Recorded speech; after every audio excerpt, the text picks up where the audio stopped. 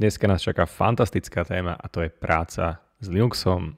To znamená, pozrieme sa, aké najčastejšie aktivity môžete robiť v operačnom systéme Linux. Konkrétne si zoberieme, jak sa hovorí na zúbok, Ubuntu distribúciu. To znamená, ako urobiť aktualizácie, ako si zmeniť jazyk, zlad témy. Pozrieme sa na základné klávesové skratky, urobíme si inštaláciu rôznych dôležitých aplikácií, ktoré bežne používate, prehrávače, editory, vývové prostredia. Ukážeme si, ako si zmeniť niektoré typy nastavení, vrátanie teda keybindingu, to znamená klávesový skratiek. Trošička popracujeme so shellom a pozrieme sa aj na výkon správ systémových zdrojov, na neposlednom rade bezpečnosť a súkromie. Možno ako náhle ste nainštalovali Ubuntu, tak to vyzerá nejako takto, plus minus autobus, ale chceme si to pekne personalizovať na svoj obraz, aby si sa cítili veľmi komfortne a príjemne. O tom je práve príjemné použiteľské zážitok a skúsenosť, to znamená, aby sme si vytvorili príjemné použiteľské prostredie. Takže nebudem vás napínať a poďme rovno na vec. Takže ja používam v skratke AD1 jak Windows, konkrétne Windows 11, ale používam duálne k tomu aj Ubuntu. Môžete mať dual boot a zároveň môžete mať eventuálne aj VirtualBox. To znamená, vidíme, že máme tu klasickú prehlasovacú obrazovku, takže mohol by som si napríklad sem za chvíľočku vložiť nejaký obrázok alebo nejakú fotku alebo čokoľvek. Zároveň, keď sa vám nechce stále prihlasovať, tak môžeme urobiť automatický login. Poďme ale pekne po poriadku. Takže nachádzam sa v prostredí Linux Ubuntu, a predpokladáme, že máme napríklad anglickú distribúciu a chcete to mať po slovensky, po polsky, po maďarsky, po česky, skrátke v ľubovoľnom jazyku. Pravom hornom rohu nájdeme menu, kde má možnosť dostať sa do tzv. settings alebo po anglicky a po slovensky nastavení. To isté by sa mimochodom mohol dosiahnuť tak, že by som si otvoril tieto tri bodečky na zobrazenie aplikácií a hľadal by som si tiež v skratke settings. Buď v pravom hornom rohu alebo priamo cez aplikácie si viete otvoriť settings, to znamená nastavenia a to, čo vás poprosím je, v tomto vašom vertikálnom menu môžeme robiť ako prvý krok, že si nájdete Region and uh, Language, to znamená region a jazyky. Vidíte, že mám v skratke poprvé Language English United States a dokonca identifikoval, že formáty dal maďarčinu. Možno ste si všimli, že na úvodnej obrazovke, keď prihlásim, tam mal maďarský jazyk. OK. Takže ja si dám tu na manažovanie a inštalácia, respektíve manažovanie inštalovaných jazykov, tak, v mojom účte. A tu na si všimnite, že je tu zoznam menučiek a okien, ktoré môžem použiť v rámci jazykových mutácií, ale my chceme tu na install a remove languages, to znamená inštalácia a odstránenie jazykov. Takže tu na nájdete celý repertoár, strašne veľa jazykov. Či kto chce češtinu, dá češtinu, kto chce finštinu, francúzštinu, nemčinu a tak ďalej. No a samozrejme je tam aj náš krásny slovenský jazyk. Pozor, je tam aj sloven, slovinčina. Takže dáme Slovak, dáme apply, tak a treba samozrejme k tomu oprávnenie logicky. Mimochodom, ako náhle vás prestane baviť stále či už sudo alebo priamo autentifikácia. Opäť si to môžeme za chvíľočku nastaviť pri každej aksory prekotine a zmene sme nemuseli byť stále robiť autentifikáciu. Takže už to fičí, stiahuje sa zároveň sa rozbalujú všetky dôležité balíčky k tomu, aby sme mohli pekne používať krásne slovenské Ubuntu. Takže necháme ho. Tak je to tu. A teraz je tu dôležitá informácia, že zmeny sa prejavia pri ďalšom prihlásení. To znamená to, čo by sme mohli štandardne teda urobiť, že rovno sa odlogujeme. Takže keď dám pravý horný roh, mám tu rovno power off a logout, takže odlogujeme sa. Mimochodom Windows L, ktorý štandardne používame vo Windowse, funguje tu na, takže dám si teraz power off, povedzme, aby sme sa teda odhlásili z Ubuntu. Tak počkáme podstate si ho môžete opäť zapnúť, či už cez virtuálku alebo bezprostredne, ak ho máte ako primárny operačný systém, aby sme sa dostali zase späť. Takže štartuje sa mi mašina.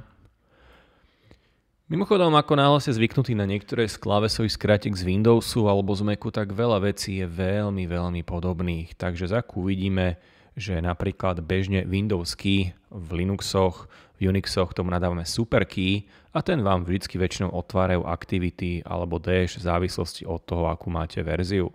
Napríklad e, terminál, či už ste na Macu, na Linuxe, dokonca aj v nových verziách Windowsu funguje Ctrl Alt T ako terminál. Prípadne, ak sa budete chcieť prepínať medzi jednotlivými otvorenými oknami, budeme používať Alt Tab, keď sa nám to spustí. A keď sa budete chcieť dostať typicky, ja neviem, na pracovnú plochu, tak mimochodom väčšina vecí, ktoré skutočne funguje priamo v, vo Windowse, funguje zároveň aj na tom našom Linuxe.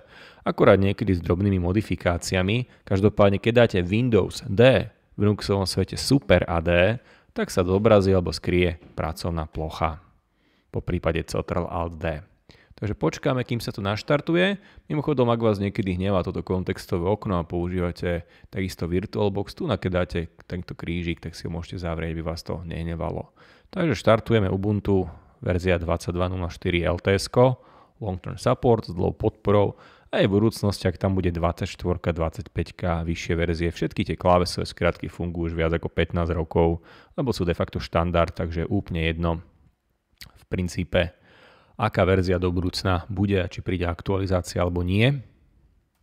Takže vidíme prihlasovaciu obrazovku, takže zadáme si hesielko, poďme na to. Tak. Teraz prvé, čo vás môže napadnúť, že no dobre, ale však stále to po anglicky activities. No preto, že jedna vec je nainštalovať, druhá je nastaviť. Takže opäť buď pravý horný roh settings alebo cez aplikácie. Takže otvorme si pekne settings. A poďme opäť do Languages a tu na, kde máte ešte raz jazyky, vám krásne pribudne slovenský jazyk. Nech sa páči, dajme Select a tu na vidíme, že bude treba aj reštart. Mimochodom, tu na v tých formátoch potom pribudne aj slovenský formát, aby ste mali pekne dátum v formáte deň, bodka, mesiac, bodka, rok, časy v takomto formáte, metrická sústava, veľkosť, rozmery papieru, listov, dokumentov A4. Takto si to pekne nastavím. Rovnako tu, kde máte login screen, tak si viete potom takisto upraviť formát. To znamená prihlasovacia obrazovka. Takže vidíte, pri akejkoľvek zmene, ktorú samozrejme robíte, ktorá sa týka systému, sa samozrejme v skratke vyžaduje či už reštart alebo zmena. Takže toto si všetko upravím, aby sa mi to pekne prijavilo a dáme si sem takisto Slovak. Takže správame si ešte jeden reštart, ale predtým, než to spravíme, môžete urobiť pokojne aj to, že si nastavíme nejakú peknú tapetku. Ja to bežne robím tak, že buď využijem USB kľúče alebo rôzne cloudové úložiská. To znamená, keď si otvoríte prehľadač Operu, Brave, akýkoľvek prehľadač, ktorý máte radi, tak v skratke priamo z nejakej cloudovej služby si môžete stiahnuť nejaký obrázok, nejaký wallpaper. Takže v skratke otvoriť. Ja to mám tak, že veľa vecí mám pripravené na OneDrive, aby som ich mal k dispozícii. Rovnako ak Operu alebo Brave alebo akýkoľvek prehľadač používate natívne ako predvolený, tak si ho takisto môžete tu nasetnúť ako default browser. Takže môžeme dať kľudne, že yes, aby sme si ho snápli ako default web browser. Takže tu by ste si našli niekde na vašom cloude, Google disku, Mega, Dropbox, akúkoľvek cloudovú službu používate, takže keď si otvoríte typický home, tak väčšia časť vecí je mimochodom v tzv. downloads alebo stiahnutých dokumentoch, takže tu už vidíme napríklad môj obrázok a wallpaper. Ak dáte práve tlačidlo myšky, je tu rovno, jak vo Windowse, že set as wallpaper. To znamená, môžem si rovno nastaviť krásne túto pracovnú plochu. Vidíte, aké krásne žiarivé už to tu máme. Ak preferujete tmavé témy, môžete aj tmavé, dokonca v materiálu od nás nájdete takéto podobné témy aj na programovanie, prípadne priamo na a, grafiku, dizajn, siete a tak ďalej. Rovnako pre prihlasovaciu obrazovku si môžeme nastaviť takisto a, úvodný obrázok pre môjho používateľa, takže opäť v pravý horný roh, keď kliknem na settings alebo cez všetky aplikácie a settings, tak tu na v tomto vertikálnom menu máme users. To znamená používateľia. To znamená, ak sa vám stále nepáči meno používateľa, viete si ho zmeniť a ja teraz robím dve veci. To znamená, tu na si viete vybrať kalkulačku, mačičku, čo chcete, alebo si vyberieme v skratke obrázok, ktorý sa vám páči, ktorý vám šmakuje. Vidíte, že automaticky sa otvorilo Pictures, to znamená priečinou, kde sú obrázky. Ja dám Downloads a vyberiem si napríklad priamo takto môj obrázok, mohol by som si to takto aj orezať alebo zväčšiť, takže keby ste chceli, tak áno, je možné si to takto zväčšiť úplne s touto mriežkou. Takže máme. A tu na je krásna, super bombastická vec a to je automatický login. To znamená, toto za chvíľočku v skratke aktivujeme, aby sme sa nemuseli stále v podstate prihlasovať. Takže tu nás si dajme unlock, odomknime sa, zadáme používateľské heslo na autentifikáciu a nastavíme si automatic login. Krásna, brutálna vec. Zároveň, keď budete chcieť niekedy vedieť, že a náhodou nepoužíva, nezneužíva niekto môj počítač, tu, kde máte account activity ako administrátor, ako admin, prípadne DevOpsák a kliknete na Logit in si môžete pozrieť, aha, tak niekto predsa tam sa prihlasoval cez môj account, takže si viete pozrieť, kedy relácia session začala, kedy bola ukončená. Takže takto krásne to máme. Mimochodom je veľmi vhodné mať v operačnom systéme tých používateľov viac. Takže pokojne si spravte aj štandardný účet, okrem administrátora, na nejaké základné testy a testovanie. Takže vidíte, vybral som add user, dal som standard a tu si dajme, že test a vidíte, že všetko potom ako username malými písmenami môžem mu ponechať, že buď mu nastavím heslo, alebo nechám to na neho, nech si on nastaví heslo pri najbližšom prihlásení. Takže ešte raz, vždycky okrem svojho administrátora majte aj nejaký štandardný účet. Veľa ľudí z hľadiska bezpečnosti to mimochodom robí tak, že oni sa prihlasujú ako cez svoj testovací účet, ktorý je štandardný a samozrejme správcovskom vtedy, ak je to nevyhnutné pri rôznych zmenách. Takto sme to pekne ošéfovali. Takže poďme opäť urobiť to, že dáme si logov a dajme si rovno ideálne, dajme reštart. Takže dajme reštart. Reštart mimochodom nie je nič iné ako vypnutie a zapnutie, čiže predtým sme to normálne vypli a potom zapli, ale môžete zvoliť aj reštart. Dalo by sa to urobiť aj trošička jednoduchším spôsobom a to, že by som sa odlogoval a pracoval s procesmi. Na začiatku je veľmi vhodné osvojiť si tie základné koncepty a to je práve reštart odhlásenie sa, vypnutie a zapnutie a podobné aktivity, ktoré sú bežné pri práci s Linuxami. Takže všimnite si úplná bomba. Rovno nás to prihlásilo, takže nemusel som robiť tie serepetičky a ako prihlasovacie meno a heslo a zároveň mi umožňuje aktualizovať si všetky štandardné priečinky pre súčasný jazyk. To znamená, miesto destu budete mať pekne plocha, Downloads bude stiahnuté tak ako v slovenských verziách Windowsu, templates budú šablóny, public budú verejné, dokumenty, respektíve documents budú dokumenty a tak ďalej. Takže urobíme následovnú vec, už sa ma to nepýtaj a hlavne chceme aktualizovať tie názvy. Teraz zároveň si môžete pozrieť, že v pravom hornom rohu, keď si otvoríme, celé použiteľské rozhranie už vidíme, že pekne po slovensky. To znamená, vidím tu activity, jak sa slúši a patrí, Rovnako ak si otvoríte nastavenia, môžeme sa rovno spolu do nich pozrieť, že vidíte, tu už je pekný náš účet, takže krásne všetko upravené, jak sa slúši a patrí. Opäť, keby ste chceli, môžeme urobiť následovnú kulehu, kliknem na pravý horný roh, tu na, kde máte vypnúť odhlásiť sa, dajme prepnúť používateľa, aby sme sa dostali na login screen a vidíte, že je tu okrem Miroslava, je tu testovací.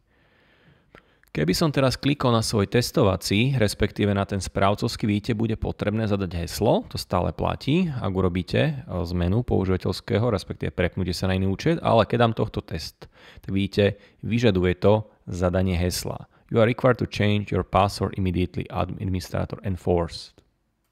Takže buď pri prvom prihlásení, alebo mu vopred nastavíte heslo, takže nie je s tým problém aby sme sa pekne prihlásili, takže určite je veľmi vhodné mať administratorské konto, to znamená správcu, respektíve super správcu ukážem. Inak nelaknite sa, ak vám to takto niekedy troška zaloguje, lebo to prvýkrát, pretože nemáme skratky nič nastavené. Tu aby sme to na chvíľočku samozrejme mohli skipnúť. Ak používate Ubuntu Sign-on, tak si všetko viete nastaviť o mnoho rýchlejšie. Takže ak sa vám stane niečo podobné, tak to preto, lebo zatiaľ nemáme nastavené nič. Takže pokojne by som to mohol skipnúť. Ide o to, dajme, že nebudeme odosielať informácie. Ono nám to laguje kvôli tomu, že nemáme nič nakonfigurované z hľadiska grafiky, z hľadiska použiteľského rozhrania, takže pokojne by som mohol dať tu na, že force quit. Totižto vy keď si kliknete na pravý horný roh, tak v settingoch je veľmi dôležité si nastaviť samozrejme aj grafiku, aby nám to takto neblblo. Čiže na začiatku, keď sa vám deje niečo podobné, tak treba sa upokojiť, všetko si nastaviť úplne korektne, takže vôbec sa nelaknite. Ono sa to môže deť aj v dôsledku tej našej virtualizácie. Ono ako náhle v časti display si nastavíte nejaké normálne rozlíšenie 1920 na 1080, tak sa dobre bude. V skratke takýmto spôsobom zabezpečíte pomer 16 9, pretože ono tam bolo 800 na 600, preto to tak trhalo. Refresh rate bude väčšinou vždy okolo tých 60 Hz, je možné si nastaviť aj škálovanie. Samozrejme, keď chcete mať väčšiu obrazovku, tak jedna vec je nastaviť si škálovanie, respektíve nastavenie si zväčšenie na 200%, len keď si ponechám zmeny, tak keď zväčšíte tú škálu na 200%, pre niekoho to môže dať ako kone, preto je možné využívať tzv. Fraction scaling alebo tzv. frakčné škálovanie. Vidíte, že samozrejme vyžaduje to viacej energie, nižšia rýchlosť a samozrejme môže sa redukovať tá ostrosť toho displeja. Každopádne ako náhle to spravíte, vidíte, zase sa mi sem šupne 800 na 600, takže dám si tam opäť aspoň 1920 na 1080, čiže Full HD a dám Apply. Takže dám si keep changes a potom vďaka tomu je možné nastaviť si nielen 100 a 200, ale pokojne nejakých 125, prípadne 150. Takže pokiaľ chcete mať nie, že rovných 100 alebo 200 a chcete niečo medzi tým, tak toto zlomkové alebo frakčné škálovanie je veľmi dobre si povoliť. Takže kľudne si to nastavte na svoj obraz nejakých 100, 150, tak aby vám to vyhovalo, aby ste sa cítili komfortne a potom vám to nebude lagovať. Takže mám pripravený v skratke aj účet pre bežného používateľa, čiže vymyslím si, máte buď nejakého súrodenca, sestru, brata, mamu, alebo ja neviem, nejakého rodinného príslušníka, k tomu chcete tiež prístup, poďme sa rovno lognúť, takže zmeníme e, používateľ naspäť na toho nášho správcu, pod ktorým sa prihlasujeme. Tak, takže poďme späť. Takže zatiaľ sme si nastavili pekne slovenský jazyk. Opäť, ak vám trošička blbne to škálovanie, upravte si ho aj tu na. Takže nezabudnite si upraviť na svoj obraz display, čiže ja napríklad mám tu na nastavenú mierku teda tých 150, vidíte, frakčné škálovanie je povolené. Tento môj monitor má rozlíšenie 4K, čiže keď používam v skratke 4K, to znamená cez 3000 rozlíšenie, tak tuto mám v skratke Full HD. Áno, ďalšia vec, ktorú teraz sme urobili, je, že sme si nastavili teda región a formáty, všade som dal slovenčinu, vrátane prihlasovacie obrazovky. Tu nás samozrejme pri tej prihlasovacej to isté, môžete si sem nastaviť samozrejme slovenský jazyk, aby sme to mali všetko korektné v jednom jazyku. Takže aj tu si nastavme pekne slovenčinu, tak, Slovensko. A to isté jazyk pre prihlásenie si môžete dať slovenský. Takže všetko budeme mať pekne poslovenčené, keď to chcete mať po anglicky, budete mať po anglicky. Ďalšia dôležitá vec, ktorú tu máme, je možnosť nastavenia si teda jednotlivých vzhľadov. Čiže ja to mám svetlé a takéto oranžové zatiaľ, ale pokojne keď preferujete, aj modrú vo vizuále, prípadne tmavé témy, veľmi obľúbené, tak si ich môžete nastaviť podľa seba. Rovnako veľkosť ikón je normálna, ale keď chcete mať veľké, môžete si ich nastaviť. Pozícia ikón je pravý dolný roh. Tak ja si dám napríklad top left, keď to chcete mať podobne ako vo Windowse. Otázka, či sa má zobrazovať osobný priečinok. Chceme. Mimochodom osobný priečinok, do ňa sa dostanete veľmi rýchlo, keď chcete ísť na pracovnú plochu, ak dáme Windows AD, to znamená v Linuxovom svete Super AD, tak všimnite si, sme rovno na pracovnej ploche na desktope, ak dáme znovu Windows D, som späť. Ak chcete, aby sa ma automaticky skrýval dock, to znamená dokovací panel, viem si dať auto hide, ak chcete napríklad potom zväčšiť príslušné prostredie a rozhranie, keď hráte alebo meníte alebo upravujete okná, robíte nejakú prácu. Ja väčšinu chcem mať dock zobrazený za každých okolností a otázka je, že kde sa má samozrejme zobrazovať v rámci pozície. Štandardne to je vľavo, keď to chcete mať vo Windowse, môžete dať kľudne bottom, na spodnej časti obrazovky, ak vám to viacej vyhovuje, nie je s tým problém. Treba si uvedomiť, že z týka obrazovky, tak e, obrazovky idú hlavne do šírky. Od rozlíšenie nepustí, nie do výšky. Ale pokiaľ vám to vyhovuje, a mať to vľavo, čo je v podstate Linuxový štandard, môžete to tak nechať. Ak to chcete ako vo Windowse, pokojne to môžete mať takto. Veľkosť ikon si samozrejme viete modifikovať a zmenšiť, aby sa vám tam mestilo viacej ikoniek. Čo sa týka nejakých štandardov pre veľkosti ikon, tak v praxi uh, vidíte, že najmenšia hodnota je 16. Čiže 16x16, potom taký štandard bežne 32x32, potom 48 sa bežne používa v praxi. Takže môžete si pokojne nechať taký, taký zlatý stred 32, 32. To je taký štandardný rozmer, ktorý sa používa pre ikony. Dobre, takže upravil som si to pekne. Poďme na chvíľočku naspäť do tých našich používateľov. To znamená, máme správcu, ale aby bol skutočne správca, najprv si to poďme tu na odomknúť. Tak, tu na treba mať zaškrtnuté, že ste skutočne správca. Čiže chceme ako správca kedykoľvek pridať odstranených používateľov, meniť nastane všetkým používateľom. A vidíte, bude potrebné potom urobiť príslušný reštart, ale počkáme si. Takže tu na máme nastavený pekný obrázok, môžete modifikovať svoje meno, urobili sme automatické prihlásenie a teraz sme sa urobili správcom pre aj ostatné účty, ktoré tu máme. Predtým, než budeme pokračovať ďalej, tak urobíme ešte jednu kulehu. V spodnej časti obrazovky máte o aplikácii tzv. About a tu na nielen, že vidíme, že používame teda Linux Ubuntu, ako mám dostupnú pamäť, procesor, grafiku, že to je virtualizované, ale v spodnej časti obrazovky je aktualizácia softvéru. Takže pokojne môžeme urobiť ešte veľmi jeden rýchly update, ak by sme chceli. Takže tu nám máme k dispozícii aktualizácie.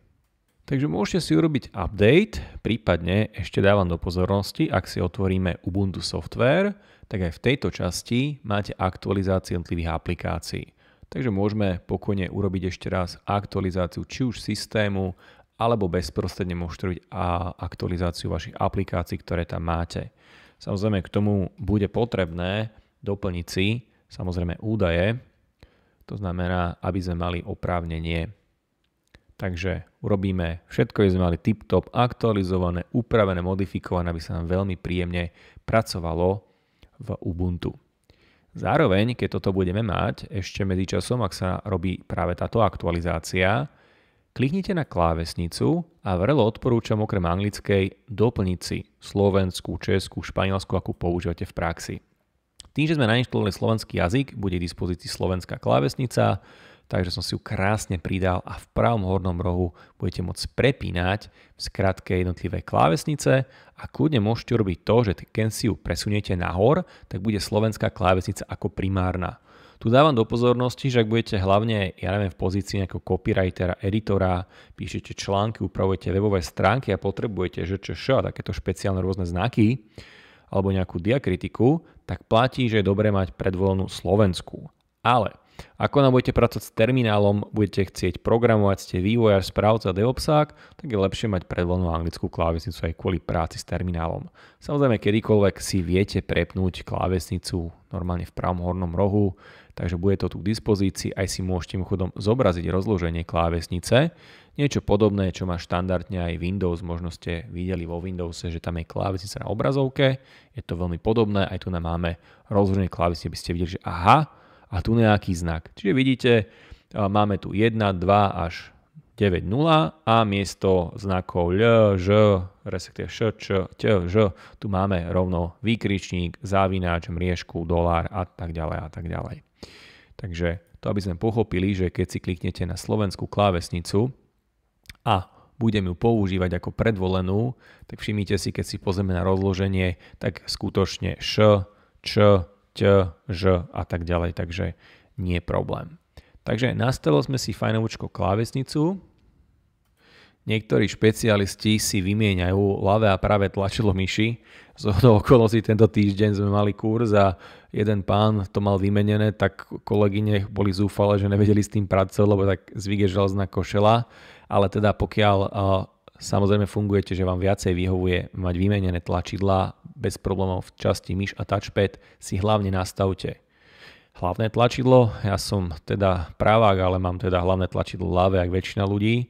Rýchlosť, senzitivitu si môžete nastaviť prípadne aj prirodzené rolovanie, ale to je pre obsah, nie pre zobrazenie. Takže ešte raz pokojne si môžete skrátke upraviť vlastnosti podľa seba. Niekedy mi ešte ľudia hovoria, hlavne keď používajú notebooky, že tento Ubuntu ide nejako pomaly. No treba sa dať pozor, aký tam máte nastavený aj režim napájania. Takže ešte vo vrchnej časti máme tzv. napájanie a v časti batéria vidíte, že momentálne u mňa sa nabíja 96% a je tu nastavený tzv. vyvážený. Prípadne dávať pozor, aby tam nebol šetrič energie. Takže vy si viete samozrejme ešte nastaviť režim spotreby energie, prípadne dokonca môžete zobrazovať percentá batérie v pravom hornom rohu, čo je veľmi užitočné, hlavne ak ste na pracovných cestách. Takže keď chcete, tak máte možnosť si tu na automaticky pustiť šetrič alebo naopak si ho viete v skratke vypnúť to isté. Niektorých ľudí potom hnevá, že nastavili sa automatický login a po nejakej čase vám to vypína obrazovku, tak sú ľudia z toho proste frustrovaní, tak ja si tiež väčšinu nastavujem nikdy ani si nenastavujem automatické uspanie, vidíte tu, že pri batérii, ale o to isté, ak chcete, viete to samozrejme oddialiť kľudne o 2 hodiny alebo v skratke úplne vypnúť, takže v skratke je to na vás, aký je váš životný štýl, alebo či chodíte, ja neviem, po kanceláriách, po zákazníkoch, po projektoch, hodne cestujete. Každopádne ten môj setting väčšinou vyzerá nejako takto. Dobre, poďme si urobiť opäť reštart, aby sa nám to všetko pekne prijavilo. Takže dajme reštart. Takže máme reštart za sebou. Takže urobili sme si dôležitú konfiguráciu tých najpodstatnejších základných vecí. A teraz poďme sa pozrieť na zúbok nejakým aplikáciám, ktoré potrebujete, či ste vývojár, DevOpsák, bežný používateľ. Poďme rovno do Ubuntu Software. Takže, čo by sme mohli potrebovať pre náš život? Vidíte, je tu tzv. editor choice, to znamená výber editorov. Takže je tu napríklad príkazov riadok pre Kubernetes, to nás bude zaujímať na kurzoch pre DevOps.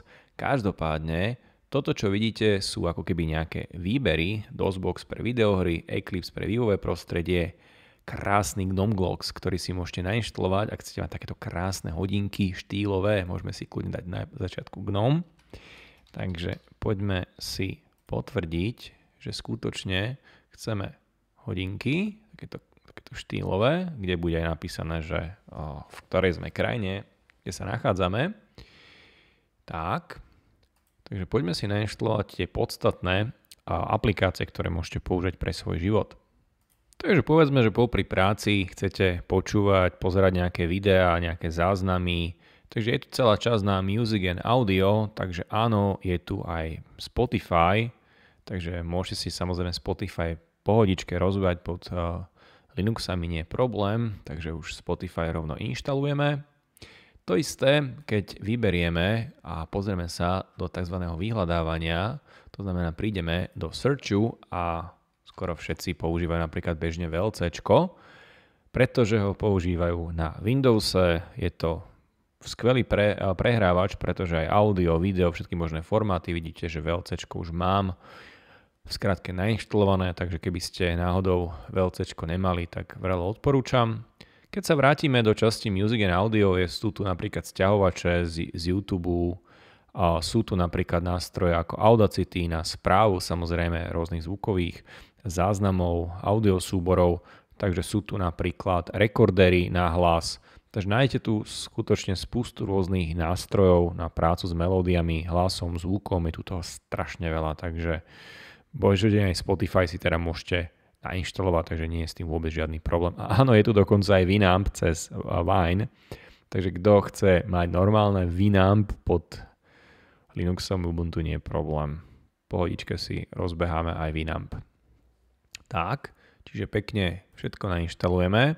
Všetky aplikácie nám potom zobrazia bezprostredne zozname aplikácií, že v pravom dolnom rohu, keď si zobrazíte aplikácie, tak tu na všetky aplikácie sa vám pekne popridávajú. Takže vidíte, že mám tu tie hodinky, áno, respektíve vidíme tu okrem hodiniek aj VLC Spotify. Takže všimnite si, spustím VLC, tu si samozrejme môžeme pridať tie svetové hodiny a dáme si tam mesto Bratislava, tak nech sa páči dáme pridať. Ak chcete samozrejme tých daných eh, časov na úrovni rôznych svetových miest, metropoly viac, odporúčam pre VLC potom aj povoliť ten sieťový prístup pre metadáta, aby ste mali informácie o niektorých tých eh, videách, filmov a tak ďalej. Takže VLC vidíte spustené, pohodička.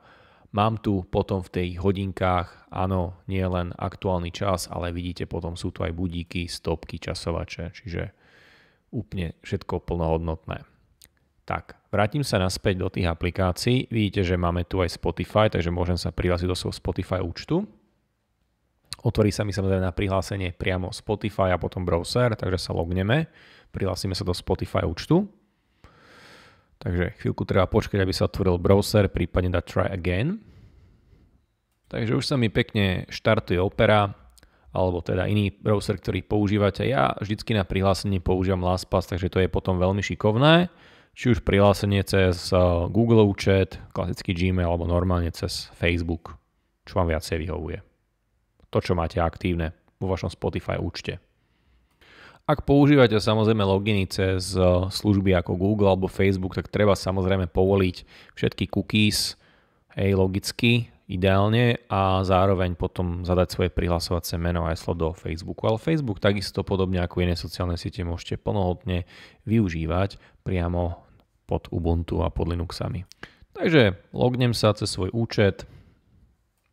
No a ideálne mať dvojfázovú autentifikáciu. Mimochodom takto viete aj zabiť dve muchy jednou ráno, že máte poriešený ad 1 Facebookík a aj Spotify, čo je akože veľmi šikovné. Takže autentifikácia mi prešla, ideálne uložiť prehliadač, aby sme na budúce veľmi rýchlo mohli použiť Facebook aj Spotify súčasne. Takže je to tady, sme v Spotify Desktop, takže môžete dať pokračovať do aplikácie a už sme rovno tam.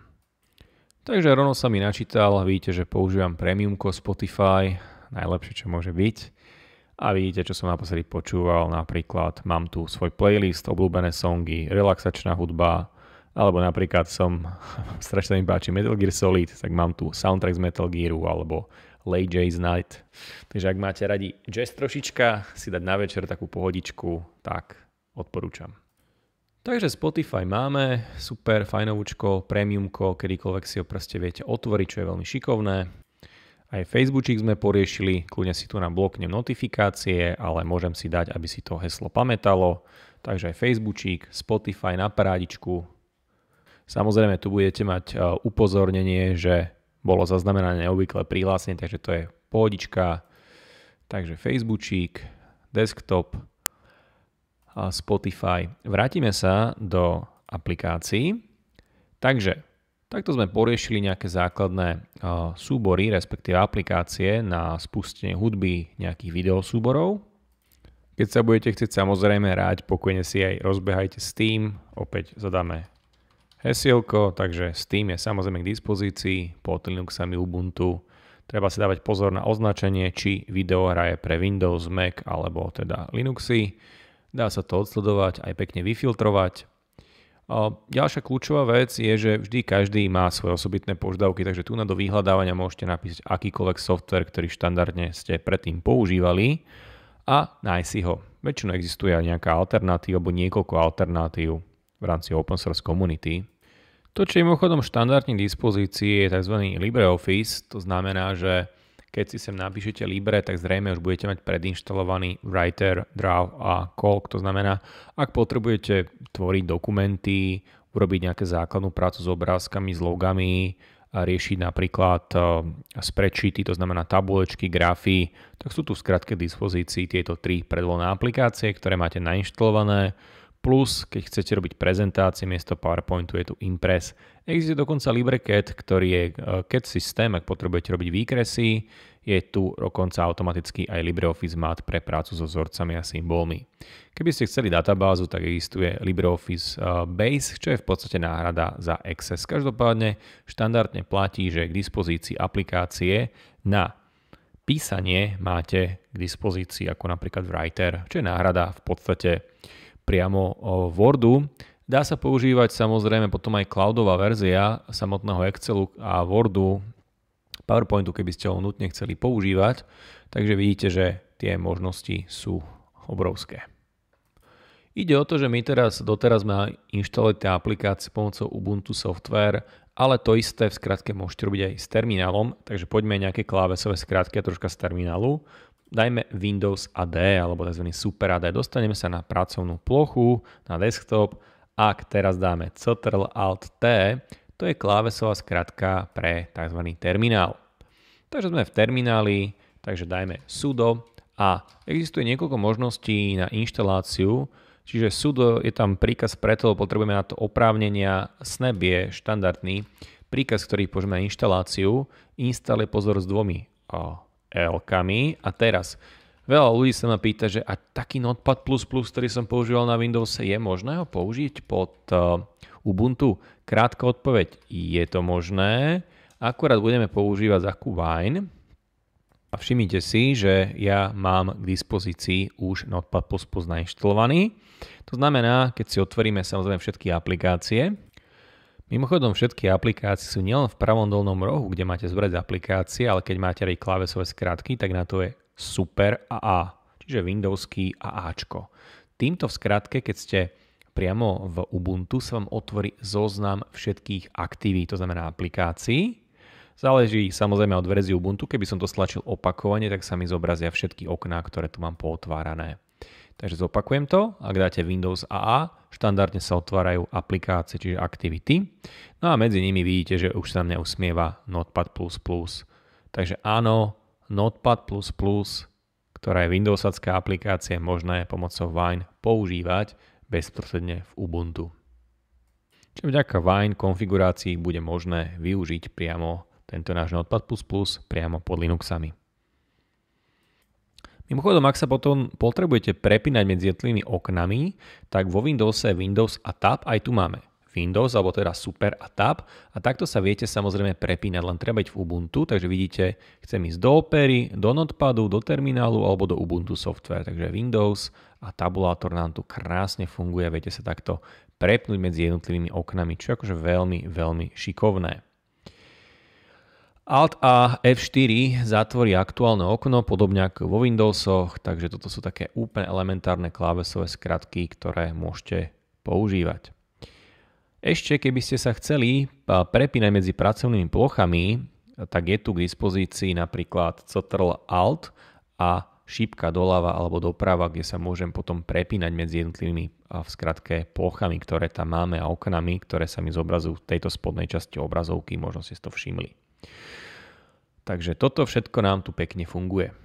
Takže proces sa skončil, čiže opäť Windows A alebo všetky aplikácie a teraz už to pôjde veľmi hladko, pretože keď si kliknem na Notepad++, tak sa mi krásne rovno spustí a môžeme s ním pekne pracovať a písať skripty, editovať nejaké ľubovoľné súbory, ktoré chcete s nimi pracovať.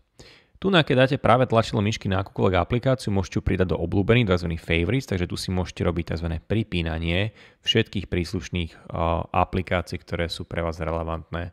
Čo sa týka samozrejme jazykových nastavení, tak tu na keď si nastavíte preferences, tak vidíme, že vo všeobecných alebo generál je anglický jazyk, takže keď sa pozrieme do jednotlivých jazykov, je tu samozrejme aj slovenčina, ktorá sa nám v podstate rovno prejaví.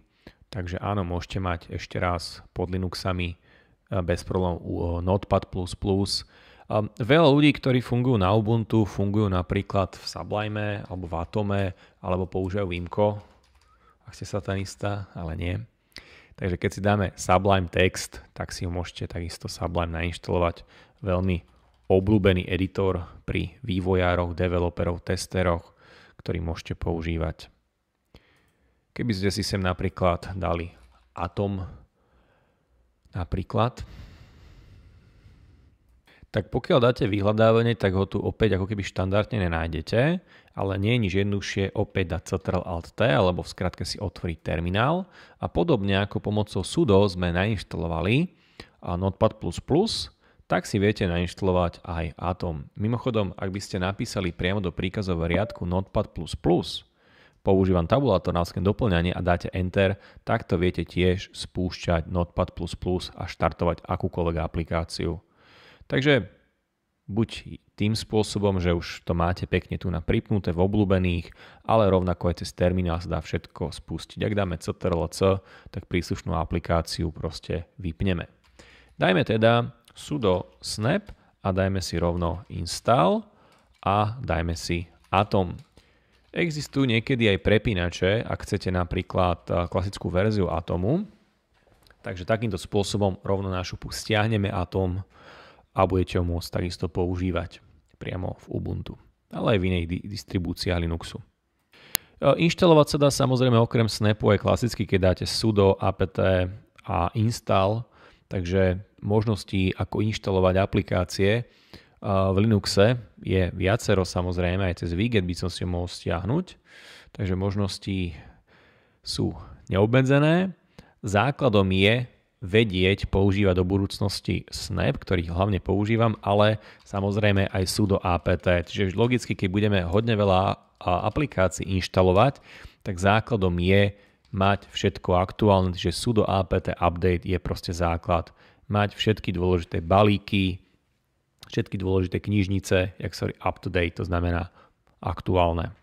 Všetko pekne aktualizované, takže sudo apt to je základný príkaz preto, aby sme mali všetky závislosti, balíčky, knižnice aktuálne. Dobre, takže keby sme sa pozreli do všetkých aplikácií, Teraz tu začneme napríklad písať, že Atom, tak už tu bude Atom k dispozícii, Atom Editor. Tak, čiže Atom sme pekne pustili, takže tu je on, nášho srdca šampión. Takže či vám vyhovuje Atom, prípadne ak si otvoríme všetky aplikácie, môžeme si dať aj ten náš Sublime text, ktorý sme si nainštalovali. Takže takisto sa nám spustí Sublime. Nech sa páči. Dôležité je to, že ako náhle máte nainštalované aplikácie, ktoré sú pre vás relevantné, tak je dobré ich udržovať aktuálne. Môžeme si ešte nainštalovať pár aplikácií, ktoré môžete v skratke používať, takže veľa ľudí má napríklad na Linuxoch Brave ako ďalší prehľadač kvôli rýchlosti, bezpečnosti a tak ďalej. Tiež veľa odporúčam. Takže nainštalujeme si Brave. Tak. No, No a určite by ste mali mať aj nejakého správca súborov. To znamená, jedna vec je, že keď ste na pracovnej ploche a otvoríte si domov, tak áno, môžem fungovať v takomto základnom počtovskom rozhraní. Mohol by som si otvárať samozrejme viaceré okná, ale veľmi dobré využívať v skratke nejaký, nejakého správcu, znamená file manager. Čo sa týka Linuxového sveta, možno ste počuli o Conquerory, čo je v podstate niečo ako Total Commander, s ktorým sa v skratke môžete bežne e, stretnúť. Takže to, čo vám vrelo odporúčam, je Conqueror, ktorý je veľmi vhodný na správu súborov a je tam aj web browser zabudovaný. Takže určite odporúčam Conqueror, aby ste mali v skratke plne pod kontrolou všetky súbory. Takže vidíte Swiss Army Knife, či doslova ako švajčiarsky noži, ktorý môžete použiť na správu súborov, prehľadne súborov. Takže toto by ste určite mali mať, či ste bežný používateľ správca alebo vývojár. Je tam samozrejme aj FTP a SFTP, ak sa budete chcieť pripájať typicky na nejaký server, takže tieto veci sú tu k dispozícii. Ďalšia taká vec, ktorú ľudia riešia, sú e-mailoví klienti, takže niekto môže používať samozrejme typicky, že má nejaký Gmail, to znamená Google účet, do ktorého sa samozrejme prihlásite a fungujete priamo v prehľadači. Je to jedna z možností. Niektorí ľudia samozrejme fungujú na tom princípe, že používajú typické aplikácie ako sú Lotus, respektíve Thunderbird, takže vy keď nainštalujete Ubuntu z pravidla v tom základnom distre väčšinou aj máte Thunderbird, čo je veľmi obstojný veľmi obstojná alternatíva oproti nejakému Outlooku, takže Thunderbird je veľmi dobrá vec, e-mailový klient, alebo môžete si nainštalovať Geary, e-mailový klient. Každopádne je veľmi vhodné mať nejakú aplikáciu práve na e-maily a správu samozrejme e-mailov, to znamená poštového klienta. Takže v našom prípade ideálne ten Thunderbird. Takže máme tu už aj Conqueror, môžeme si ho pokojne spustiť, aby sme sa s ním oboznámili. Takže Conqueror je správca v skratke súborov, takže Thunderbird si potom takisto môžete nakonfigurovať, aby ste mali automaticky dispozícii e-mailový účet a e-mailového klienta. Takže Conqueror sa mi rovno zapol, že buďme slobodní, sme dúfam. Takže vidíte, domovský priečinok, sieťové priečinky kôž. Takže dáme si takto, že domovský priečinok a rovno to vie urobiť takúto krásnu analýzu proste celé adresárovej štruktúry. To znamená, viete fungovať a vidieť, že OK, že čo mi v skratke zaberá najviac miesta. V Conquerori potom v časti zobraziť si môžete nastaviť rovno, že nielen, že vás bude zaujímať režim zobrazenia, prehľadania veľkosti súborov, ale aj tzv. bočný panel, kde môžete normálne pekne prechádzať cez adresárové štruktúry. Samotný Conqueror môžete používať aj ako prehliadač, no a základná otázka, že no dobre, máte tu Operu, máte tu skratke Brave, ale ja chcem svoj Google Chrome. chcem svoj Google Chrome, nie je problém. Ak chcete Google Chrome Môžete si ho samozrejme klasicky stiahnuť a tak, že si otvoríte podstránku pre webový prehliadač Google Chrome alebo napíšte Google Chrome Download. Takže nie je problém samozrejme fungovať a stiahnuť si samozrejme priamo Chrome. Tu na vyberieme 64, 64-bitový formát pre teda Debian a Ubuntu a dáme prijať a inštalovať. Takže áno, nie je problém, aby ste mali Google Chrome priamo pod Ubuntu. Tak chvíľku potrvá, aby sa nám stiahol. Takže už sa nám to pekne stiahuje. Tento balíček s príponom .deb, akože Debian. Takže máme stiahnuté, spustíme, môžete dať rovno inštalácia softvéru, lebo to nie je zazipované. Takže vidíme, že aplikácia software je pripravená. Takže tu už vidíme Google Chrome Stable, stabilnú verziu, takže dáme inštalovať. Potvrdíme si SEL na overenie totožnosti a už inštalujeme Google Chrome. Takže Google Chrome máme nainštalovaný, takže môžeme sa do ňoho rovno pozrieť. Takže sem si môžeme dať Google Chrome a rovno si ho môžeme potom pridať do tzv. obľúbených. Ak by sa náhodou niekedy dodatočne uh, vyžadovalo overenie, tak mu samozrejme dajte potvrdenie. A otázka je na vás, či ho budete mať ako predvolený. Môžeme si ho tak nastaviť, ale nechceme dosielať štatistiky. Takže nastavili sme si ho ako predvolený a otvárame rovno Google Chrome. Takže opäť môžete sa buď prihlásiť alebo neprihlásiť pod svojím Google kontom. Veľa odporúčam sa prihlásiť, vy ste mali všetko k dispozícii a gratulujem, už máte automaticky k dispozícii Google Chrome. Keď hovoríme o predvolených aplikáciách, tak stojí za to ešte si urobiť kontrolu predvolených aplikácií. A klikneme na pravý horný roh, otvorte si nastavenia alebo teda settings a je veľmi dobré sa pozrieť na predvolené aplikácie. To znamená, keby ste to chceli zmeniť, tak aký bude predvolený program aplikácia na browsovanie, to znamená prehľadanie webu. Opera, Brave, Firefox, vyberiete si. E-mailový klient, ak ich tu bude mať mať viacej. Thunderbird, to isté. A aplikácie na kalendár, na hudbu vidíte, predvolené sú videá, ale môžeme nastaviť kľudne VLCčko, to isté, keby ste chceli v prípade videí dáte VLC. To isté na fotografie. Môžete využívať zabudovaný predač obrázkov, ale pokojne si môžete zvoliť Shotwell alebo doinštalovať skratke ľubovoľný software na prácu s obrázkami. Takže niektorí ľudia fungujú napríklad na Nomex, alebo používajú napríklad Eye of Gnome alebo Eye of Mate, tých uh, nástrojov na obrázky, Loop, Ristretto, Dcam by som už som vyskúšal strašne veľa geeky, je ich pomerne hodne. Každopádne taká základná aplikácia na prácu s obrázkami, nielen prehliadanie, ale úpravu je tu samozrejme k dispozícii GIMP, takže GIMP je základná aplikácia na prácu s obrázkami, ktorá je open source, takže ak by ste chceli upravať obrázky, tak samozrejme GIMP je výborná aplikácia nielen na prezeranie, ale aj na manipuláciu s obrázkami, aby ste mali možnosť samozrejme modifikovať, upravovať, robiť úpravy obrázka a vrátanie retušovania. Takže game máme nainštalovaný, takže opäť keď si otvoríme všetky aplikácie, bude vždy tu na v zozname, väčšinou tu na, na konci. Vidíte, už sa nám tu pridávajú aplikácie, takže môžeme takto stránkovať. Toto je tzv.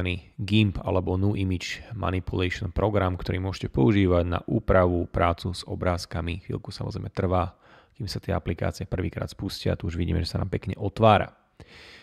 Takto by sme mohli samozrejme inštalovať kopec rôznych aplikácií, aj čítačky na RSS, tzv. feeds, mohli by sme tam doplniť Visual Studio Code, tak každý potom samozrejme podľa svojej preferencie a podľa toho, s čím prakticky prichádzate do kontaktu.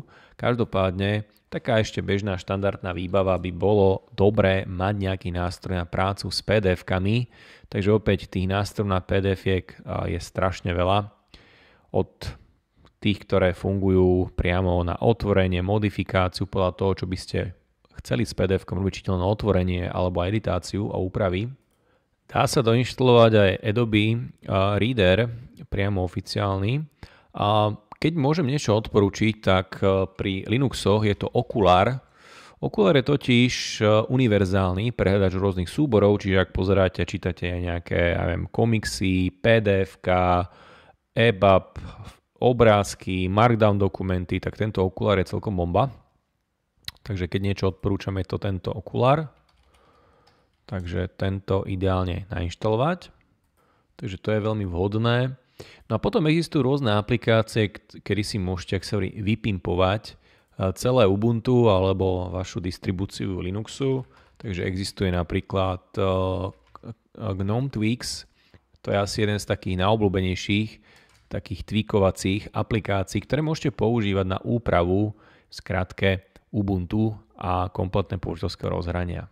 Takže rovno tu vidíme tzv. vyladenie prostredia GNOME, takže toto je jeden z dôležitých projektov, vidíte, má to vysoké hodnotenie. Toto môžete používať kompletne na to, ak budete chcieť modifikovať práve použiteľské rozhranie, nastaviť si rôzne ikonky, použiteľské okná, skratke témy, všetko, čo vás napadne.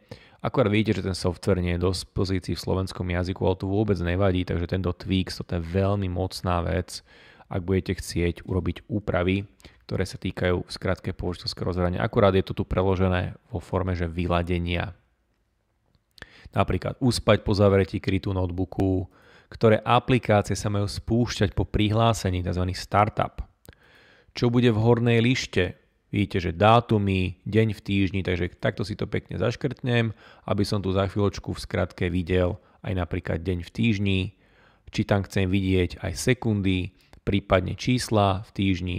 Pri klávesnici a myš máte možnosť pracovať s Imexom, mať napríklad to nastavené pre náhľady, myšku, touchpady, to znamená všetko si viete modifikovať a upraviť podľa seba vrátane okien, či sa majú centrovať, aké budú samozrejme kláves pre akcie okna, my použijeme super, čiže to, kde je Windows, ale viete urobiť aj Alavy Alt, upraviť si typ písma, veľkosť, doľaďovanie, takže toto je veľmi užitočné, pretože máte možnosť modifikovať si všetko úplne na mieru, takže vrátanie ikon, zvukov a záhlavy okien. Takže toto je výborná aplikácia, tzv.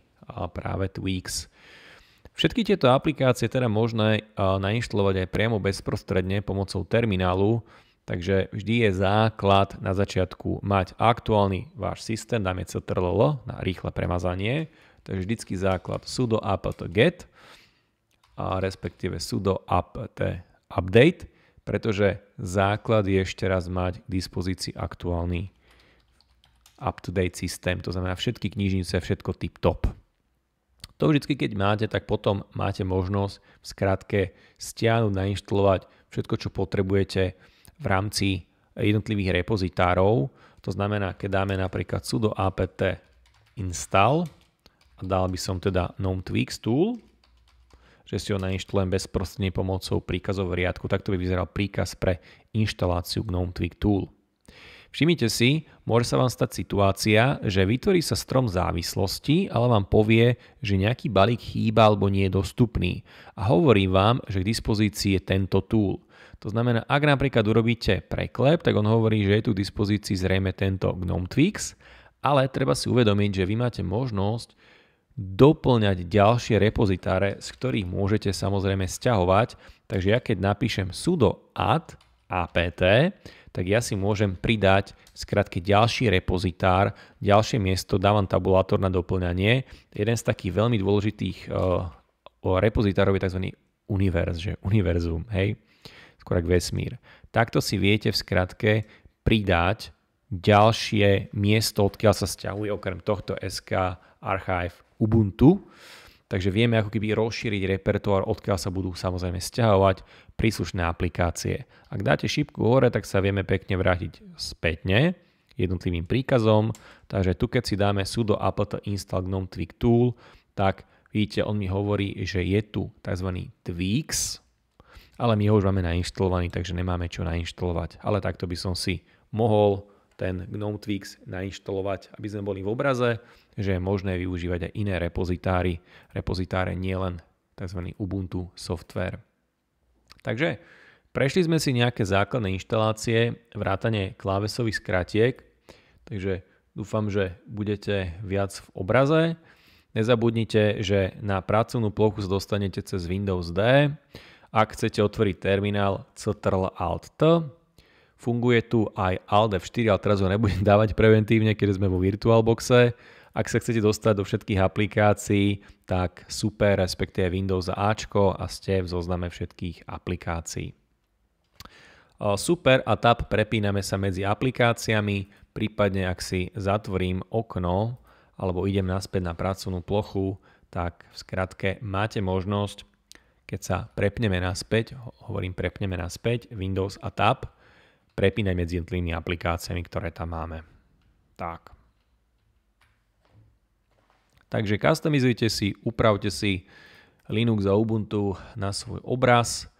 A čo sa týka klávesových skratiek, je ešte dobre vedieť poslednú vecičku, že tie si máte možnosť opäť modifikovať prostredníctvom nastavení v pravom hornom rohu alebo prostredníctvom opäť všetkých aplikácií. Je tu rovno, že klávesnica, kde sme v skratke riešili pridanie slovenskej klávesnice. A keď pôjdete nižšie, je tam zobraziť a prispôsobiť skratky tak taká vec, ktorá je veľmi obľúbená, ktorú veľmi často robím skoro vždy na začiatku, je, že idem do triggerov, ak to máte po slovensky spúšťače a urobím si klávesov skratku na domovský priečinok. Napríklad vo Windowse, keď dáte Windows E, tak sa otvára Explorer, to znamená prehliadač súborov. Tak dáme Windows E, to znamená Super E, aby som mal nastavenú klávesovú skratku. Čiže keď budete na pracovnej ploche alebo na nejakom programe a dáte Windows E, tak sa mi rovno otvorí tvoria súbory. Takže krásne to tu už máme aj preložené, vidíte, miesto download stiahnuté, miesto template šablóny, miesto verejnej public, takže krásne to tu funguje. No a potom si sa môžete pridávať svoje vlastné ďalšie uh, umiestnenia, čiže nie len tie domovské, ale tu na typické aj binárky, akékoľvek ďalšie, ktoré sú pre vás relevantné knižnice, ETC a tak ďalej. Takže nezabudnite, že nejde len o to, že sme domov, kde máte svoj použiteľský adresár, ale v ďalších umiestneniach v počítači je samozrejme tých, tej adresárovej štruktúry tých priečinkov podstatne, podstatne viac. Takže na otázku taká klasická je, že, že kde sú moje súbory? Áno, tak ukázali sme si, že keď dáme Windows a E, tak veľmi rýchlo viete sa dostať do svojho domovského adresára, kde máte dokumenty stiahnuté. Každopádne v ďalších umiestneniach v rámci počítača vidíte kompletne celú adresárovú štruktúru. Ono je to v podstate obrátená stromová štruktúra, čiže na vrchole potrebujeme reťazce tzv. root. Áno, preto je to strom, lebo vidíte, že tu na je ako keby ten náš kmeň a tu sú jednotlivé vetvy. Takže keď sa pozrieme, že čo nám tvorí adresárovú štruktúru, tak ad 1 je tam bin alebo binaries, to sú binárky, tu sú všetky základné spustiteľné programy, ktoré sú potrebné na spustenie systému a základnú prácu s nimi vidíte chvíľku trvá, kým sa mi to celé načíta, tak to sú všetky dôležité programy, vidíte napríklad add, apt repository a tak ďalej. Ďalej tu máme tzv. boot alebo bootovanie, čiže boot loader files. Tam sú všetky súbory, ktoré sú potrebné na štart počítača, respektíve štart Ubuntu ako systému, vrátanie Linuxového jadra, zavádzače group. Takže toto je takisto veľmi kľúčový systémový folder. Potom uh, device files alebo dev, to nie je development, ale to sú špeciálne súbory, ktoré reprezentujú zariadenia. Taká základná filozofia Linuxu je, že všetko je súbor, čiže ak priečinky, tak device, to znamená zariadenia. Takže vidíte CPU, procák, disk, všetky zbernica, SATA zariadenia, takže TTI je napríklad terminál, ktorý tu vidíme. Takže toto sú všetko jednotlivé zariadenia. ETC, takisto veľmi mocná vec. Tu sú konfiguračné súbory, takže ak potrebujete upravovať nastavenia systému inštalovných programov, tu sa všetko nastavuje v ETC. Home alebo tzv. domovský adresár, tu sú tí vaši používateľi, naši obľúbení Miros, test všetkých používateľov, ktorí doplníte. Takže aj takto by som sa dostal do toho domov alebo home. Logicky mi to asi uveríte. Lipky alebo libraries, systémové knižnice sa tým myslia. Tu na je obsah zdieľaných knižníc, ktoré sú potrebné pre základné spustiteľné súbory práve pre tie tzv. binárky, toto bin a rovnako aj tu na SBIN. Takže potom tu máme um, média. Tu na sa robí tzv. mount alebo mounting, to znamená, ja môžem tu na uh, mountnúť, to znamená pripnúť alebo teda otvárať rôzne médiá ako USB, uh, CD-romky, DVD-romky, takže toto sú médiá a z toho vyplývajúci to potom ten Mount Directory MNT. Áno, to je ten dočasný mountovací tzv. bot alebo point po anglicky. To znamená, keď ste systémový administrátor a potrebujete napríklad manuálne pripnúť nejaký súborový systém. Máme tu napríklad OPT, tzv. optional, to je v skratke adresár, kde sa inštaluje nepovinný software, väčšinou nejaký druhej, tretej strany vidíte, že máme tu napríklad ten eh, Google. Máme tu ešte PROC alebo Process Information.